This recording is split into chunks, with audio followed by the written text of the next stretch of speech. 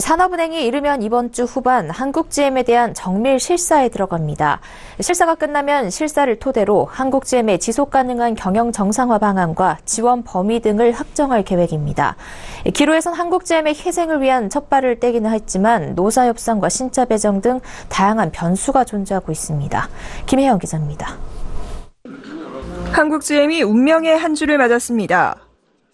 산업은행은 이번 주 후반 한국GM 실사에 돌입합니다.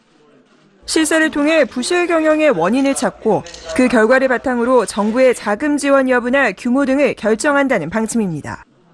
실사 결과를 기다리며 풀어야 할 실타래도 만만치 않습니다. 노사 문제, 신차 배정 등 회생 여부를 가릴 사항이 줄줄이 대기하고 있습니다. 우선 신차 배정이 관건입니다.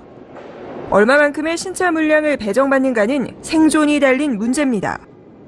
보통 GM본사는 연초 각국 글로벌 생산기지에 신차 생산 물량을 배정하는데 이때 인기 차종을 배정받은 공장은 큰 걱정 없이 운영됩니다.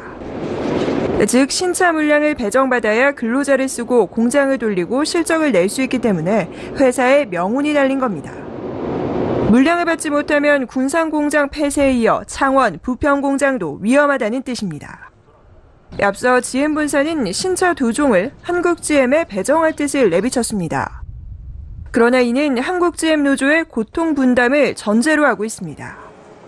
실제 노조의 올해 임금을 동결하고 성과급과 복리후생비를 줄 수 없다는 교섭안을 전달했습니다. 그러나 협상 테이블에 나타나지 않은 노조는 대화 대신 투쟁을 선택했습니다. 노조는 본사가 자신들의 책임을 떠넘기는 것이라며 군산공장 폐쇄를 당장 철회하라며 내일과 모레 결의대회를 통해 회사 측을 규탄하겠다는 계획입니다. 수조 원대 적자가 쌓여 군산공장이 폐쇄되고 생존의 기로에 놓인 한국GM. 국민의 혈세 투입 여부가 국가 차원의 화두로 오르내리며 이슈화된 상황에서 노조 역시 한 발짝 물러서는 자세가 필요해 보입니다. 서울경제TV 김혜영입니다.